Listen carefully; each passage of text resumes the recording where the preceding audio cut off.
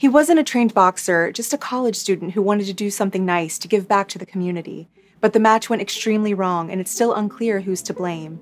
This is the story of Nathan Valencia, the Las Vegas fraternity brother who died in a charity fight night.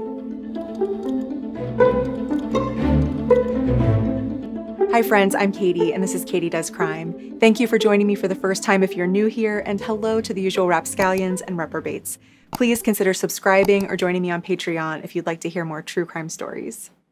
Fight Night at the University of Nevada, Las Vegas was an annual fraternity event for charity. It was known to be dangerous, and that was part of the appeal. If you end up in the hospital, it just shows how hard you went for charity.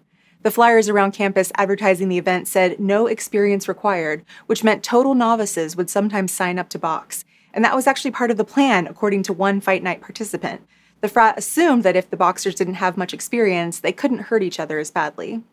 20 year old Nathan Valencia from Las Vegas was a member of the Sigma Alpha Epsilon fraternity at UNLV, a junior who was well liked and well known. That might be why the sponsors of Fight Night made him part of the main event.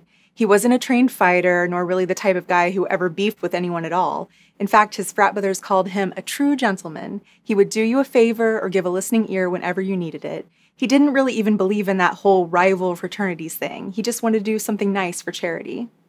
But both Nathan's mom and his girlfriend tried to convince him to cancel his participation in Fight Night. He was the baby of the family to his mom and a sweetheart to his girlfriend of almost two years. When Lacey Foster first met him, she says she texted all of her friends, Guys, I'm going to marry this man. They were both kinesiology students studying how the human body moves in the hope of helping patients with their mobility. But his love for his mom and his girlfriend wouldn't be enough to make him drop out of the fight. He was the main event, and he couldn't let anyone down. Nathan found a frat brother who would train with him, and they went to the boxing gym nine times in the month leading up to fight night. There's a lot of cardio involved, and they got to spar with the other people in the session. Nathan even stopped drinking and smoking in preparation. So when he and his girlfriend arrived at the Sahara Event Center, a little northeast of the Wynn, if you know Las Vegas, he was probably in the best shape he'd been in in a while. It was November 19th, 2021. Nathan's girlfriend says that something seemed not quite right from the beginning when they walked in and saw some trash sitting in the corner of the event hall and had to use a cluttered old warm up room. It seemed a little unprofessional. The ring and the equipment and the women with the round cards all looked right, but Nathan and his girlfriend didn't have a great feeling about how well planned it was overall. There were no coaches, just friends to cheer them on, but it's not like Nathan was going to back out now. He was in the last of nine fights that night, three rounds consisting of three minutes, unless someone wasn't able to fight back before that. Nathan looked a little worried as the MC said his name in that long, drawn out way MCs do, but he at least looked the part in his black shorts, purple jacket, and red headgear. Ambitions as a Fighter by Tupac, a song that I'm sure you can tell I'm not familiar with by the way I'm pronouncing it like the farm girl I am, played over the loudspeaker as Nathan's rival was announced. His name was Emmanuel, and he was also a junior like Nathan, a finance major, an aspiring DJ. They had met once before, a few days earlier at a frat event, but there wasn't any trash talking or threats made. This was a good natured event for charity, after all. Emmanuel looked confident in a way that Nathan didn't, but he was just as much of an amateur. Neither of them really landed any decent hits in the ring at the beginning, more like just hit each other on the top of the head or on the legs, which you're not allowed to do in boxing. Nathan got the whistle blown on him when he repeatedly hit the back of Emmanuel's neck. Oh, yeah, you can see that they're both not trained, at least not very well. We asked Donovan Britt to watch the video too. Britt is a martial arts instructor and the owner of Las Vegas Krav Maga.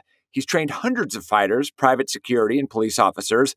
Britt sees three red flags that the boxing official in the ring did not act on. The first was Valencia turning and running. You see when he's turning and running, normally even in an amateur fight, a referee would warn him once about that and tell him if you turn and run away again, it's a, it, he's going to stop it. Which Valencia did, but nothing happened. Second, Valencia's rubbery legs and staggered walking during the third round. His balance seems to be impacted a little bit right now. I'm watching his legs. Uh-huh. He looks like he's on rubber legs a little bit, and that, that's a little concerning. Third was the repetitive shots to Valencia's head. Another shot that he took another shot, another shot. Referee should have stepped in and and and at least give him a standing eight count to see if he was okay.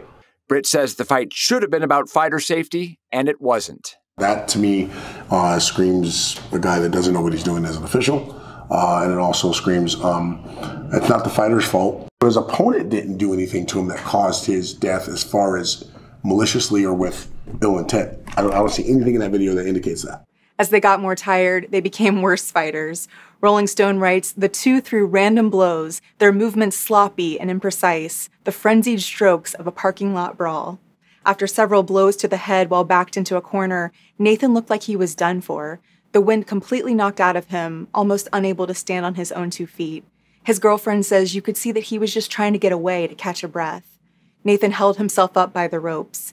His girlfriend said it looked like he was slipping out of consciousness. And then he sat down and couldn't get back up. He wasn't with them anymore. 911 was called.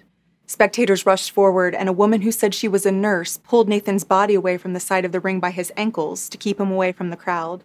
The EMTs who arrived said that the friends and frat brothers surrounding him were so trashed from drinking between the nine fights that they couldn't even coherently articulate Nathan's name. This apparently included the frat's medical staff. Nathan Tyler Valencia was in a coma for three days before his life support was removed. A surgeon said that even if he lived through a procedure, he would be a vegetable forever. He died on November 23, 2021, and those 10 minutes in the ring altered his family's life forever. A subdural hematoma, which is usually caused by a head injury, had filled the space between his skull and brain with blood. His cause of death was blunt force trauma to the head, and it was ruled a homicide, but an accidental one. It wasn't considered a crime. The Las Vegas Metropolitan Police Department said in a statement Although Mr. Valencia's death is tragic, the circumstances surrounding his death are not criminal and no charges will be filed. And that's when the questions and concerns about Fight Night really emerged. This was an event that had been going on for 10 years and had raised over $100,000. But fighters in past years had been sent to the hospital after their bouts, and yet no paramedics had been on call at the event this year. The referee had been called in as a favor because the hosting fraternity couldn't find anyone else. He was apparently the older brother of someone in the fraternity and didn't have any training, certainly not the year of training that's required for amateur fights. To add insult to injury, the ref was allegedly caught on video drinking before the event.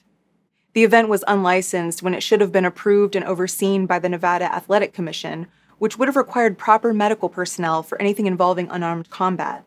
The chairman of the Nevada Athletic Commission said that the University of Nevada and its president had some explaining to do, the president, for his part, said that they would look at how off campus events like these can be as safe as possible. The university and the national organization suspended the UNLV Kappa Sigma chapter the following month as investigations were ongoing. The attorneys for Nathan's parents called it a step in the right direction, but they felt that someone needed to be held responsible for what happened. The Las Vegas police had said that there was no criminality on the part of the venue where the event was held, but nearly a year later, in August 2022, the Nevada Athletic Commission released a 158 page report on the matter. And they said that the police had been too definitive in their initial statement and that it had been premature to say no crime had been committed. One member of this panel that reviewed the incident said that this was an underground, illegal fight that can't happen again. Because, boy, even if there had been medical oversight, the event just sounds rough. A fraternity brother who fought in an earlier match said that no rules were ever explained to them. His ill fitting headgear would become lopsided during the fight. And in a video one of the spectators recorded, you hear a woman yelling, Fix his headgear. It's not the ref who notices. In fact, when someone screamed to stop the fight, the ref just ignored it. People said the event was chaotic at best. And of course, in the aftermath of the event, there were questions about whether Nathan's opponent, Emmanuel, had fought in good faith. People claimed that he was under the influence or that his gloves were weighted to cause more harm to Nathan. Emmanuel's stepfather has nothing but understanding for the people circulating these rumors. He said, if Emmanuel died, we would maybe be thinking the same thing. Emmanuel's lawyers said they never attempted to hinder the investigation, they were just never asked to help. The attorney general didn't contact him until five months later, and no one ever asked to examine Emmanuel's gloves. Emmanuel sent Nathan a supportive text after the fight and even went to visit him, but Nathan's friends asked him to leave the hospital. He didn't go to the funeral because he worried he would draw too much attention. Nathan's family made a wrongful death lawsuit against the university, the fraternity that hosted the event, the untrained referee who was allegedly drinking before the fight, and the venue that held it. They said there were improper safety protocols and inadequate equipment, and that the university knew about the injuries in previous years and yet did nothing to prevent them, basically providing no oversight in off campus events. In their suit, the family claims that Nathan suffered intense physical and mental pain, disfigurement, shock, and agony, and that they have been deprived of the estate that he would have accumulated over his lifetime. I'm not sure how they would know he was shocked if he was in a coma, and I didn't know you could sue for the money a person might have made in the future, but please let me know if that seems normal to you in the comments.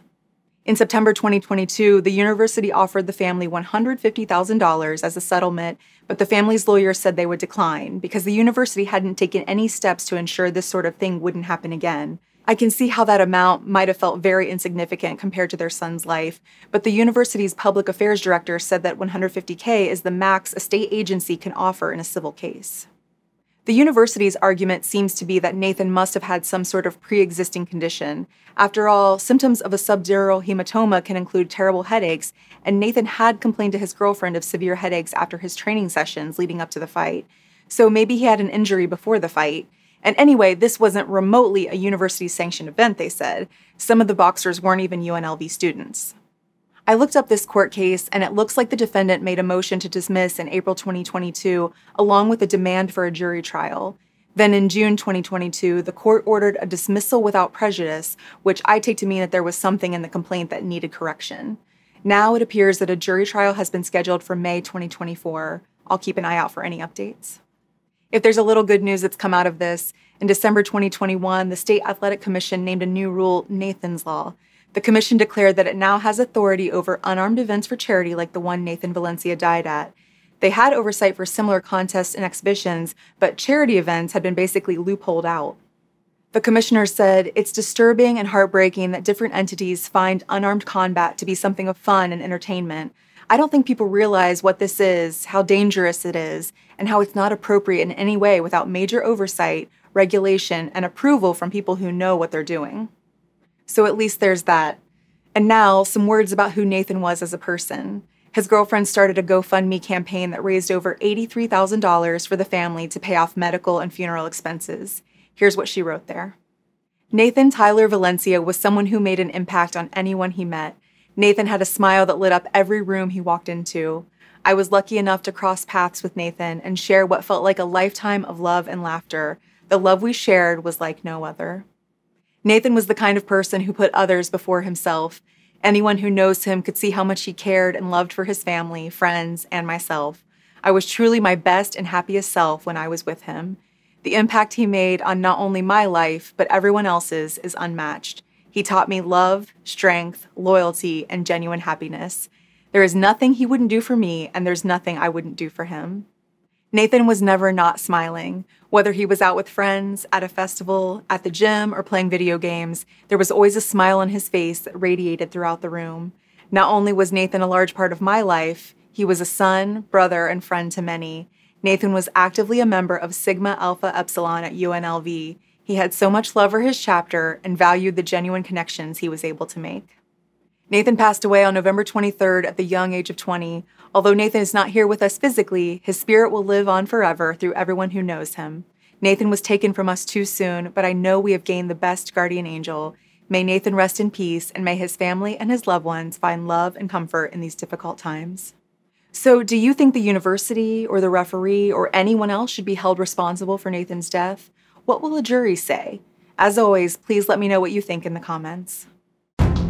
Thank you for tuning in today. I'm just a true crime fan like you are, and I really appreciate you taking a chance on me. Please like and subscribe to my channel if you like spending this time together. I would be so appreciative. Until next time, I'm Katie, and this has been Katie Does Crime.